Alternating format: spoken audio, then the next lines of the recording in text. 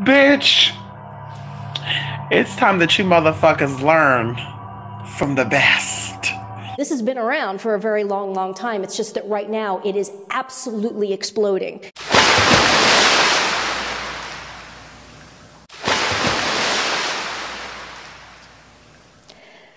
Diabolical narcissism is the overarching dynamic driving evil in the world.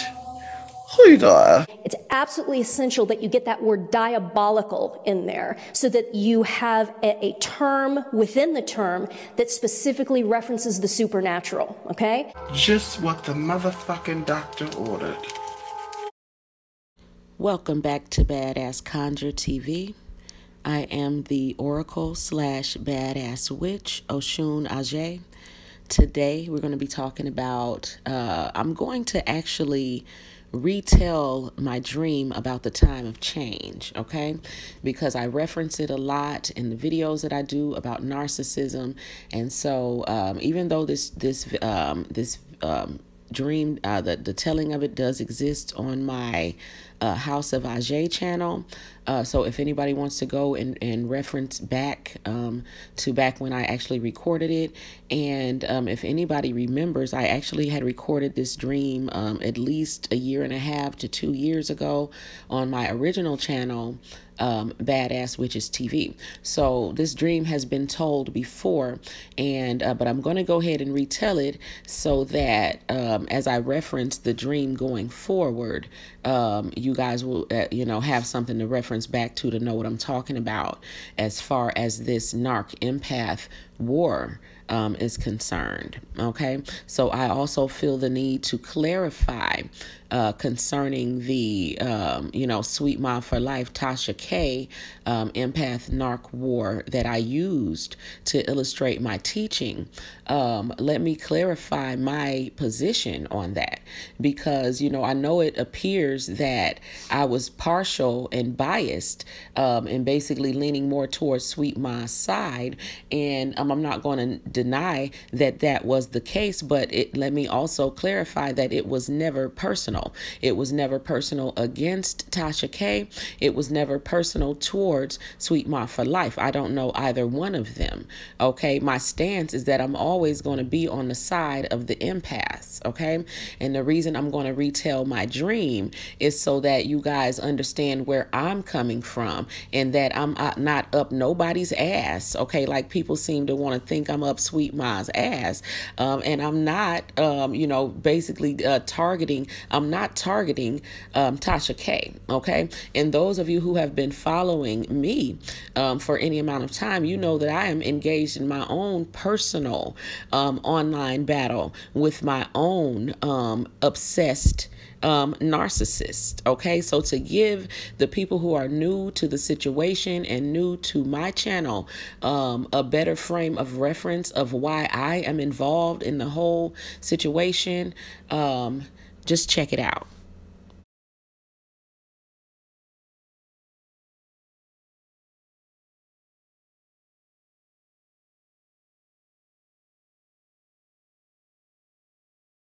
This is the brutal truth.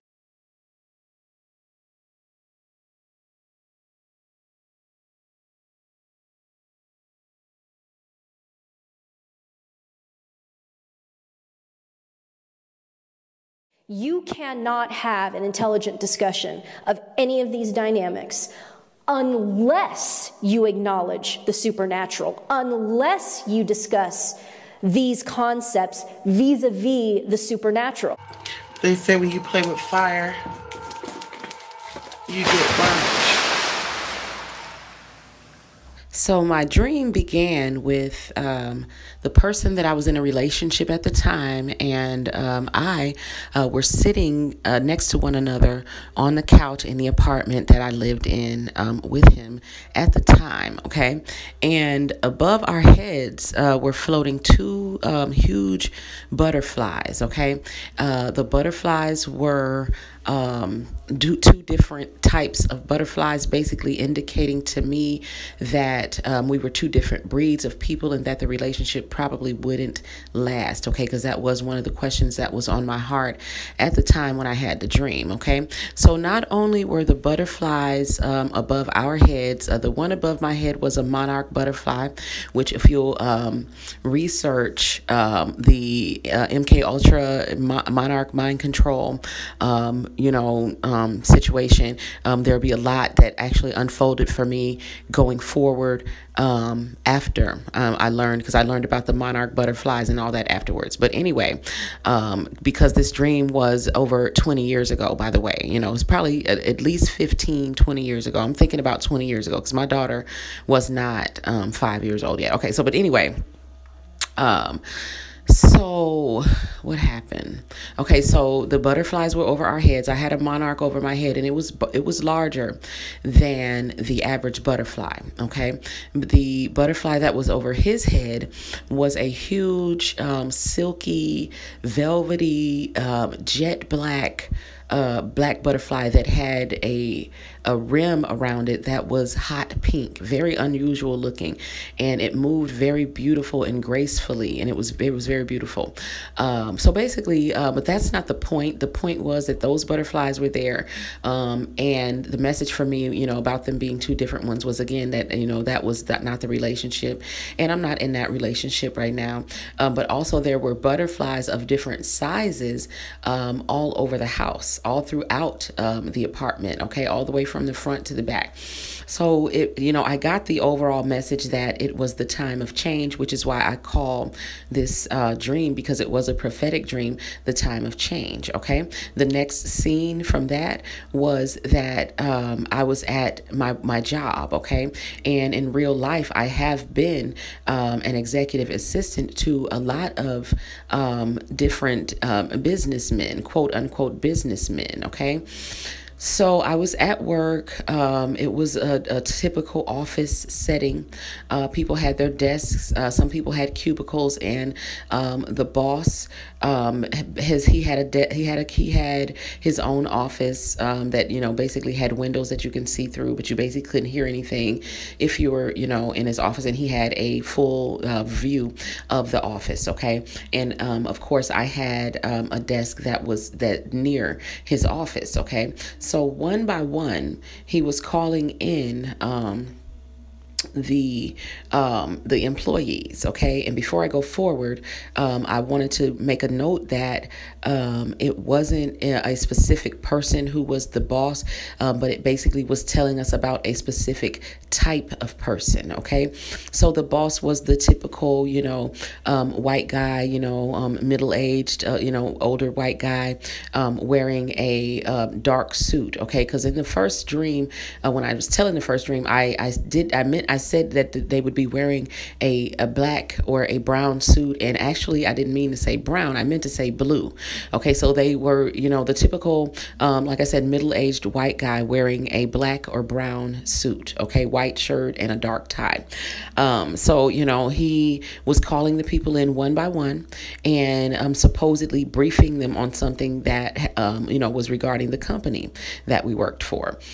Okay, so me being, you know, curious as I am, I um, was wondering why, um, if if this was a briefing about the company, why was he calling people in one by one and not, um, you know, just briefing everyone um, in one big meeting. Okay. So I began to be curious and I began to listen um, to what was being said in the meetings. So um, one by one, he would call them in and he would leave uh, the door open, you know and again my desk was very close to the door so i just tuned in and i started i noticed that he was he was saying um, things about the company. But in between those words um, there were other words being spoken words that were in latin that i at the time did not know the meaning of. Also there was um, a second voice that um, manifested as a, a devilish undertone um, in his voice okay? So that you know how you you know you've heard it on movies when a person is possessed you hear that second um, demonic voice okay? So i heard that um, in his voice. And then when the people after getting the briefing because what was happening was that they didn't hear those extra words that he was slipping in. They were like subliminal. Um, for some reason i could hear them okay? But they didn't. They only heard the words that he was saying that were regarding the company. So when they came out of the office they also had that demonic undertone in their voices and um, they didn't know it. So basically, what was happening was these people were going into his office one by one, being possessed, and they didn't even know it. So they would come out and they were possessed and didn't even know it. Okay, so moving forward, and I'm going to come back to where I am. Well, let me go finish with the dream. Okay, so they were well, they were possessed. Okay, so I noticed that what was happening, and I was like, oh hell no, nah. you know what I'm saying? I am not going in here because I see what's happening. I got to find a way to get the hell up out of here, um, and that was my goal. Okay, so I'm looking for a way to get up out of here. And um, let me mention that there was a security guard that stood by the door of the office, okay? And uh, this security guard was not human, okay? Because he, he did not speak words, he made grunts, okay? Like, mm. and when he would make those grunts, you did. Um, it, he was communicating what he wanted to say. You did understand what he was meaning, but he didn't speak, okay? And he was not completely human. For some reason, in the dream, this was normal, okay? so I go to the boss who trusted me, um, and I told him, you know, look, I got something in my car. Well, well, first of all, let me back up. I noticed that the reason I mentioned the security guard was because be, when I first noticed the people coming out and they were possessed, I decided that I was going to leave. So I tried to get up and just walk out, which I had always been free to do. Um, and this is when the security guard made this grunting noise and a gesture like, mm, you know, trying, telling me basically you can't leave, right? So I'm like, oh, you got me you messed up. You know what I'm saying? Because, you know, I'm not one of these people and you're not keeping me up in here. You know what I'm saying? So I knew that I had to be cunning. So I go to the boss. I, like I said, he trusted me. I said, look, this motherfucker is trying to not let me out of the door. Um, you know, I need to go get some shit out of my car. What's going on? You know, so I basically, I was pretending not to know anything about what was going on. And, um, you know, like I didn't know nothing. And I was just, it was a regular day and I was trying to go get some something out of my car. However, the security guard, again, who was not human, he knew that I had figured it out. Okay. But the boss, um, who was the one who was possessing the people, he did not know. Okay. So the boss told the security guard to let me let me out the damn door and leave me alone. Right. So I was like, yeah, motherfucker, move. You know. So he moves out of the way. He lets me out the door, but he didn't trust me. So he's still looking at me and kind of following behind me a little bit. You know. And so I'm like, damn, this motherfucker's following me and shit. So if I go to my my car and get in, it's going to cause this big ruckus. You know what I'm saying? Or he's going to try to stop me. I'm going to have to fight this big motherfucker or whatever. So I, when I went out the door, he was kind of following behind me, but at a little distance. And he was walking kind of, you know, he wasn't really right behind me. You know what I'm saying? Just kind of making sure I go to my car. So when I get outside the door, this girl pulls up, okay, in a station wagon. It was a white girl um, blonde white girl. Um, she pulls up. I she I get in the station wagon because she has a car full of other like a few other employees in the building who had figured it out, and they was like, "Get in, get in, get in." So instead of trying to fight him to get in my own car, I just jumped in the car with them because I didn't give a damn. I was just trying to get away. Okay, so when I I go uh, I get in the car with them. So the girl, it's a long ass station wagon. Uh, I remember there was other people in the car. Uh, there was one other black person, which was a black man who whose leg was broken. Okay, and that stood out because we had to keep the back of the station wagon open. You know how they have that little door that flips down. Well, we had to open that, and I remember him sitting in the very back of it. There was a couple of other people back there with him, but his leg um, had to stick out of that door because he had a cast on his leg, and his leg was broken, which is very indicative of um, a black man um, in this war being um, partially crippled. Okay, so anyway, there was other white people in the car. Um, I remember the girl. There was another girl, white girl. There was me. I think everybody else was white men. And then um, when we got to her house, which was out in the country, this is where she drove us to. Um, a, you know, a, a small little, you know, modest little house out in the country, and we get there and we're all discussing um, what you know what had happened and what we we had seen. Okay, and so I'm telling them about what I noticed and what made me run out of the of the door, you know, of the place. And um, they she had two little brothers that were there. Okay, and I'm gonna come back to the two little brothers because they're very significant in the story um, because they were children. Okay, they looked to be maybe between the ages of seven and nine years old. Okay and um, I was telling everyone while I'm telling them about what I seen, I told them about the words that I heard in Latin.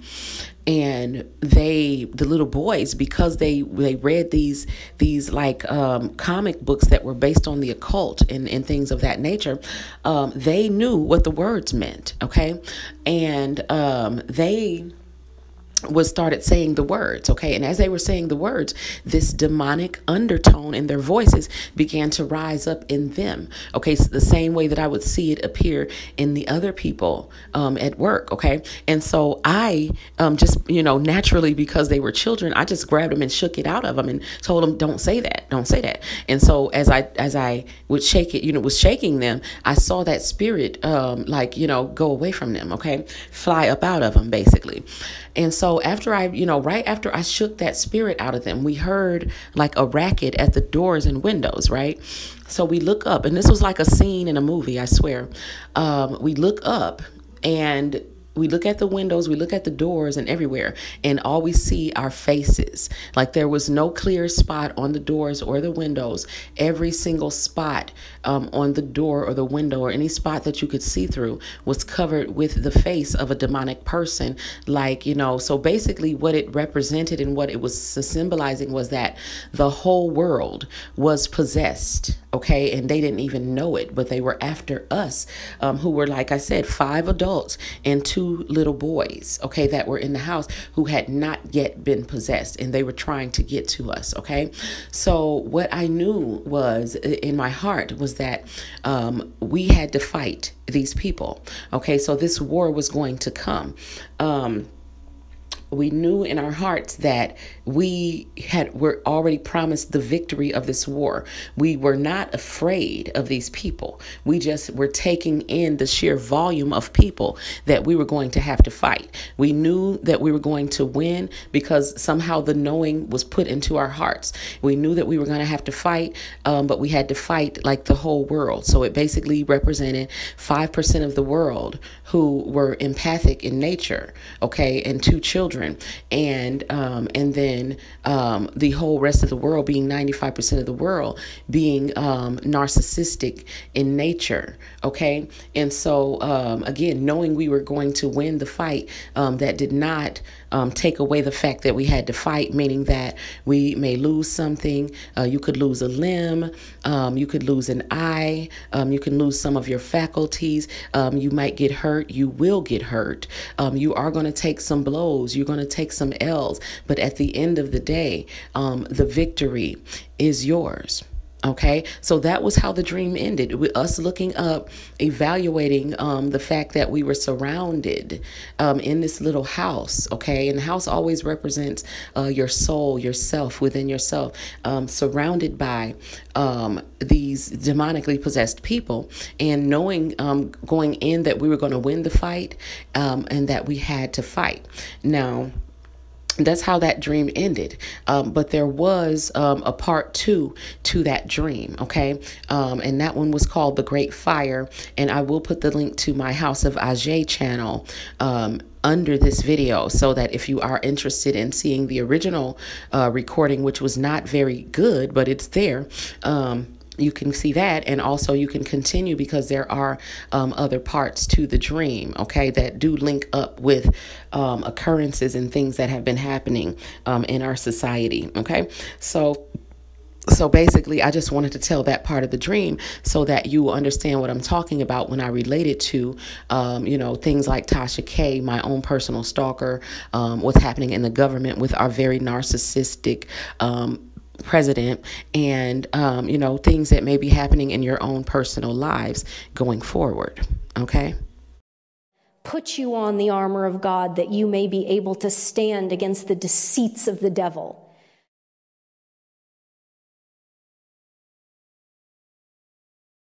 So you've got the supernatural Satan and the demons in the background driving all of this and encouraging all of this in human beings who then take on the traits of demons and then go out and attack other human beings as mercenaries. well, guess what? I'm here to let you fucking have it.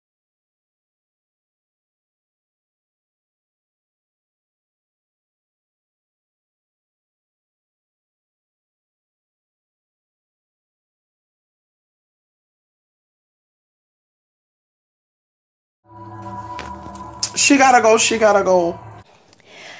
Diabolical narcissists are constantly envious of others and they seek to hurt or destroy the objects of their frustration. She gotta motherfucking go. If they have, if they have become fixated on you and you're a target, basic ass witches, you have to stay away. Eeny, meeny, teeny, weeny. They will never stop. Looking like a polka dot bikini. Narcissists are not obsessed with their true selves, which they hate. Okay? They loathe themselves, their true selves. They are instead obsessed with a false self, a false reflection, which is their own creation. So I hope you guys understand a little better now um, why I have no choice but to fight um, this war. I am being attacked um, by my own demon. So it's not about Tasha K or uh, Sweet Ma for Life, but it's about a spiritual war. Mirror, mirror on the wall Who's the shadiest bitch witch wannabe of them all?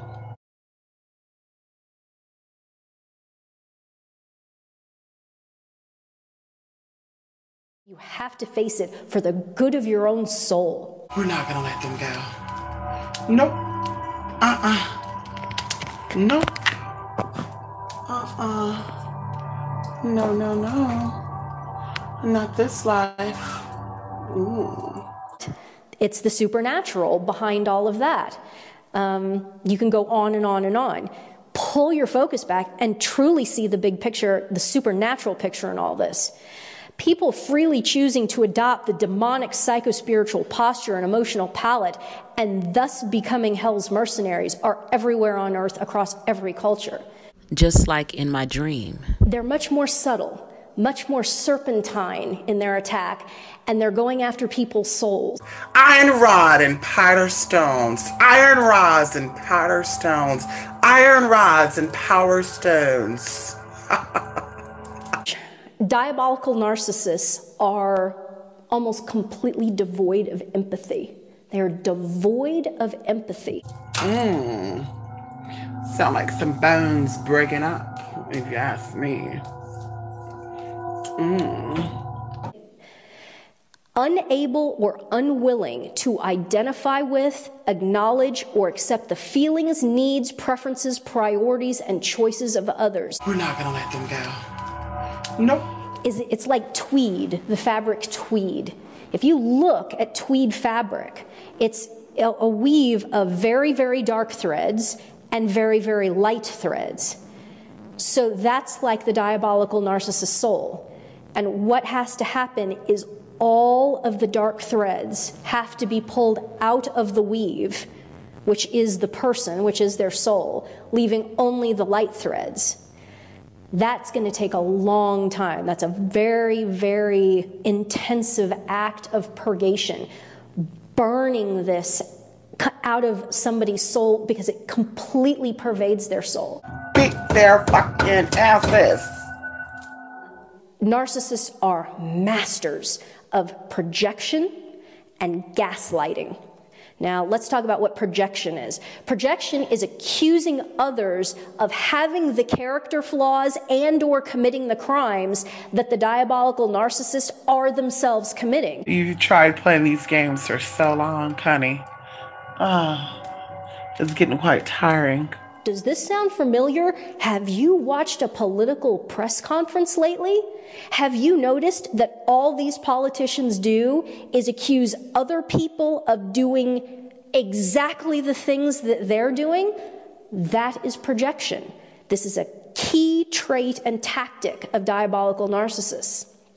Gaslighting this is, I'm just quoting Wikipedia here because this is a very good and succinct description of what gaslighting is.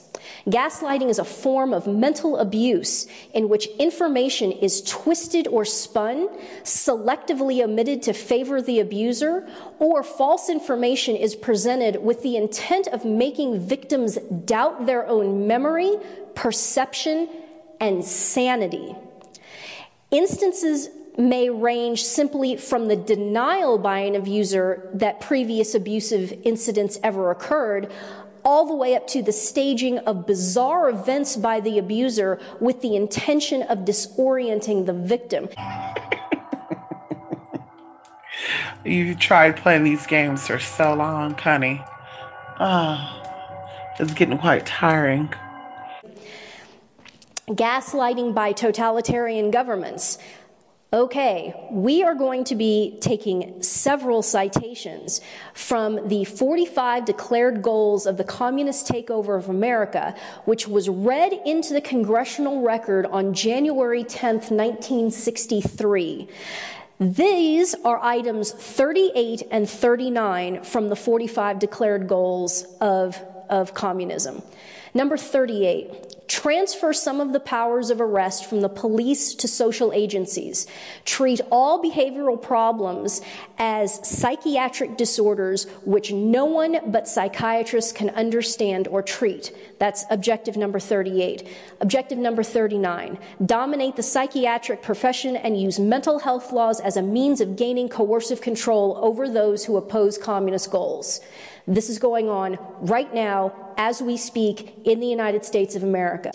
That um, the FBI information, if somebody suspects, if someone accuses someone of being crazy or mentally ill, that that information could be passed to the government and used in and of itself to, you know, deprive people of the right to own firearms. And it's going to get to the point where people are going to be, as they were in the Soviet Union, people are going to be declared mentally unfit or insane simply for not conforming to the agenda of Washington, D.C. We're not doing credit. You're gonna give me my fucking money back. Excuse me, sir. There's a young man in here. Excuse me, it's ma'am. It is ma'am. I can call the police if you'd like me to. You need to settle down. You need to settle down. If you call Bruce Jenner a man, you are crazy. You are mentally unstable. Mind your business, okay? Ma'am, once again, ma'am. I said both of you. No, you said sir. Once again, it's ma'am. I actually said both of you guys. It was general. Right beforehand, you fucking said sir. Sir? Oh, okay. Motherfucker, take it outside. If you want to call me sir again, I will show you a fucking sir. I apologize. If you call Bruce Jenner a man, you are crazy. You are mentally unstable. Motherfucker! I apologize now. You must be put away for the protection of society. This is a form of gaslighting. I need your corporate number because I'm going to talk, call them and talk about how I was misgendered several times in this store. I need your corporate number now. Now, it's interesting when diabolical narcissists run up against a person of sufficiently strong character that is keenly attuned to reality and is thus not susceptible to accusations of insanity, the diabolical narcissist then drops into a second and final form of gaslighting, accusing the victim of being a bad person. Public character assassination may then follow which I plan on telling the entire LGBTQ community. You're going to lose money over this. Get it for me now. I'm going to ask you to calm down and stop cussing. Give me your corporate number. Well, I'm going to ask you for the fifth time to stop calling me a man, because quite clearly I am not. You must be put away for the protection of society. This is a form of gaslighting. I'm sorry for that, ma'am. I will get you that number. Is that okay? Yes, I'm get it for me now. I'm asking you to stop Get it cussing. for me now. I'm, You must be put away for the protection of society. This is a form of gaslighting. I'm not cussing. Okay. Get me the damn numbers now, please. Ooh! Ma'am, ma'am, my apologies. You must be put away for the protection of society. This is a form of gaslighting. I will get you that number right now. No, you're just gonna keep bumping your. There. This description of diabolical narcissism is merely skeletal. In order to flesh out the corpus, one key concept must be added, which psychology lacks. Here we go. Here we go into punchline number one. We have to integrate the supernatural into this. You are going to disqualify the supernatural in all this. You, you have no hope. Because an excuse by definition is a dispensation from moral culpability. Modern psychology is completely concerned with generating an excuse for every single act of evil in the world. That's what it is. That's why it's so monstrously flawed. Diabolical narcissists are human beings that have, by their own free will, chosen to purge themselves of all love. And another word for love is charity which is used very often in Scripture, and thus all positive emotions derived from love. When a human being, for whatever reason, decides, I am not going to love, and they begin this process, and it can happen very quickly, of purging all love out of their heart. In purging themselves of all charity, they become incapable of love. Because they are incapable of love, the only emotions that they feel with depth are the big four anger, hatred, jealousy or envy, and fear. This is what I will refer to for the rest of the lecture as the demonic emotional palette.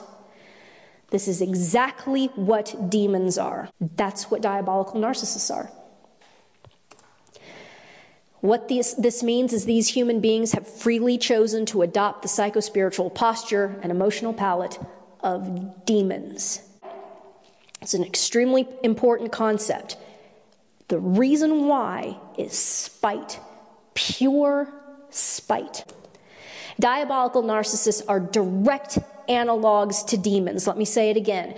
Diabolical narcissists are direct analogs to demons and should be thought of as mercenaries of hell, looking to crush and even kill the souls of other human beings out of pure spite. Diabolical narcissists are consumed with envy of people who are capable of love and normal human affection. How sad is that?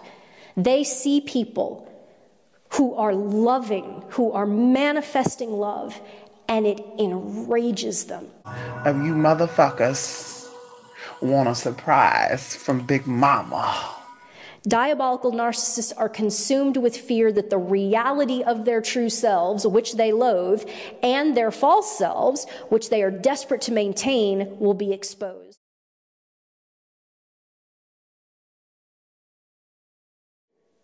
This, this phenomenon is global, it's worldwide, it's everywhere.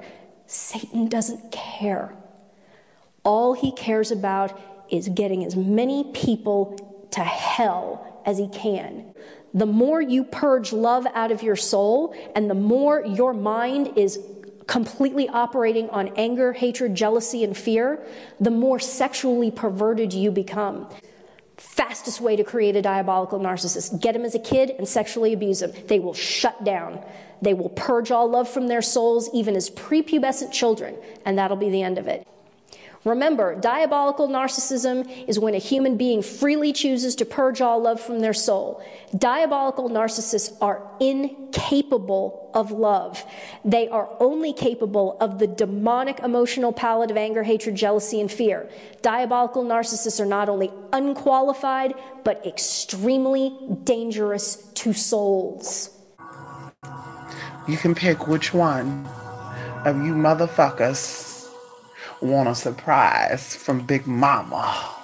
Their condition is connected to the demonic realm. We're definitely not gonna let them go. No, we're not. Their condition is connected to the demonic Their realm. eyes out. Okay, so we clearly need a wider focus here. Why must there be a war, you ask? Let's listen to Vaknin, who's a self proclaimed diabolical narcissist. According to Vaknin, going back to him, extreme trauma can sometimes break, quote unquote, a diabolical narcissist. He claims that's what happened to him. He says he's still a diabolical narcissist and a psychopath, but that he became more self aware when he was arrested and put in prison. Given how widespread diabolical narcissism is now in today's culture, it's terrifying to think of how extreme a trauma will be needed to reform an entire civilization because that's what we're talking about here. Something is going to have to happen that is so bad and so traumatic that even the diabolical narcissists are, are shaken by it.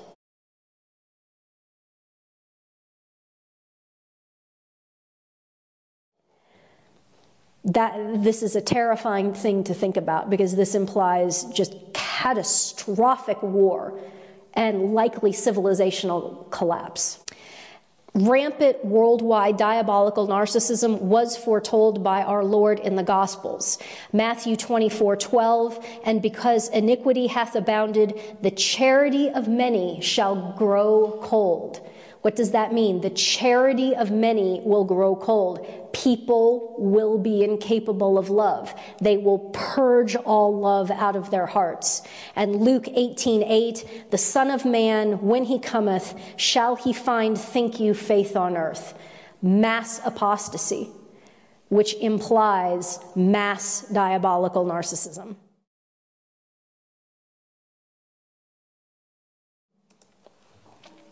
Those who know about and understand diabolical narcissism and can recognize it when it enters their life and even attacks them personally have, a, have far better odds of surviving it and not becoming diabolical narcissists themselves. The key is discrediting diabolical narcissists. That's the key to everything, and that is why I, have, I am making this video. This is the entire motivation.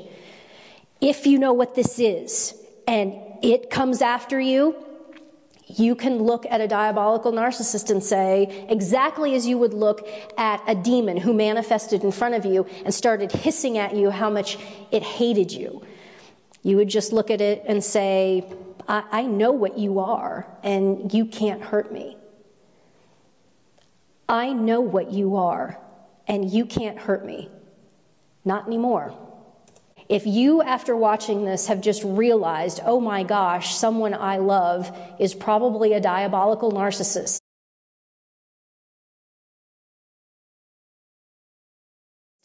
and you're sitting there feeling intense, intense disappointment, it's okay. Mourn them. Mourn that person. Blessed are those who mourn, for they shall be comforted. Do not fall into the vampiric trap of all of this, of then losing all of all love yourself and basically turning into the thing that just attacked you. Don't fall into that trap.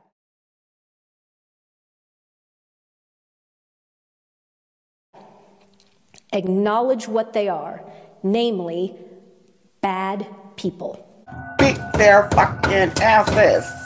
Is she melting? Cannot look back. Remember Lot's wife. They were told, get out of Sodom. Get out. What, what was Sodom? A city filled with diabolical narcissists, sodomites, homosexual gang rapists. They were told, get out of here and don't look back. And she looked back wistfully looking back into that paradigm of diabolical narcissism that she had just been delivered from. And it got her. She was turned to a pillar of salt. Don't look back. Don't look back. don't look back.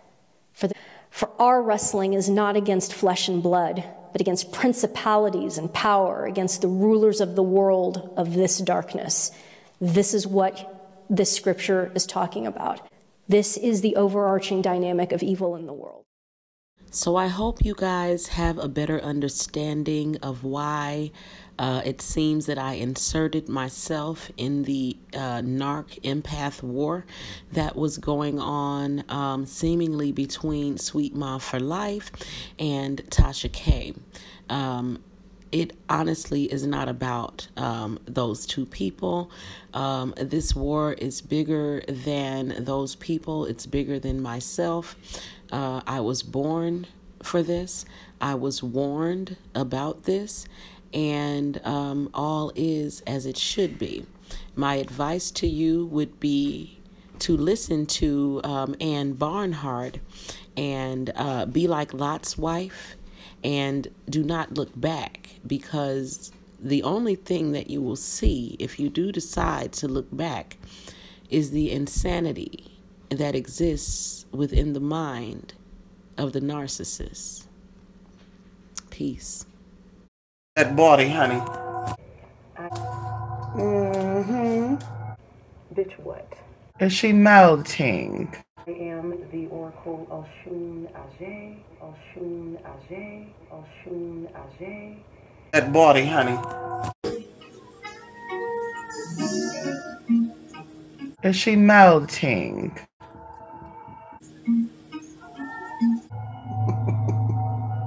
Can she dance for us, darling? Tina, Tina thinks she's Houdini.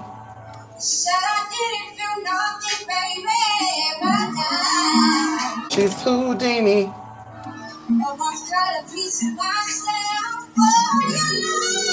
She's Houdini.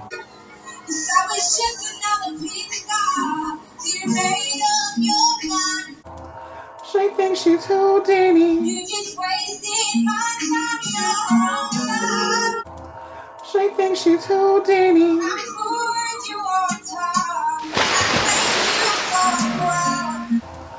I think she she's Houdini. Houdini. Houdini.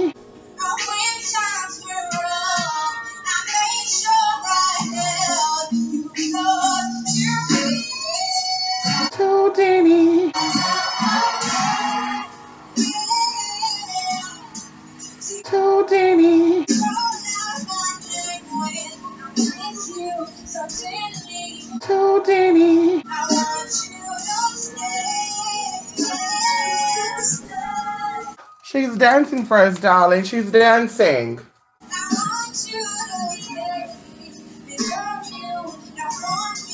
And she's dancing.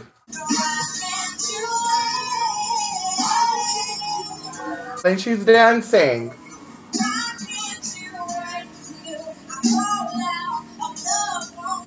You better work it, darling. She's working it, honey. She's working it for the cameras.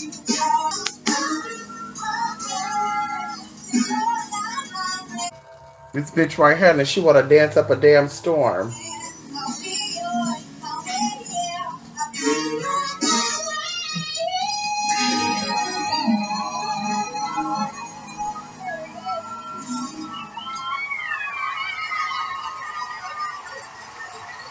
She gotta go, she gotta go, she gotta go. St. Michael the Archangel, defend us in battle. Be our protection against the wickedness and snares of the devil. May God rebuke him, we humbly pray. And do thou, O Prince of the heavenly host, by the power of God, cast into hell Satan and all evil spirits who prowl throughout the world seeking the ruin of souls. Amen. Motherfucker! I now literally don't have anything more to say. I'm back. My prayer is that this presentation helps one person, one person. Not be spiritually destroyed by a diabolical narcissist. And that one diabolical narcissist, I have no idea who, anywhere on earth, if one diabolical narcissist is saved through prayer and joined as a result of someone watching this video, then everything, all of it, will have been worth it. Mm-hmm. Shantae, honey. You better work it, bitch.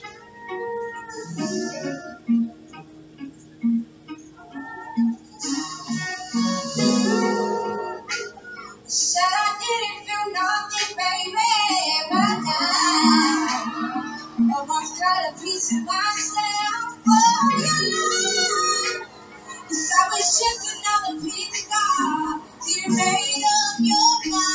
You just wasted my time, your whole life.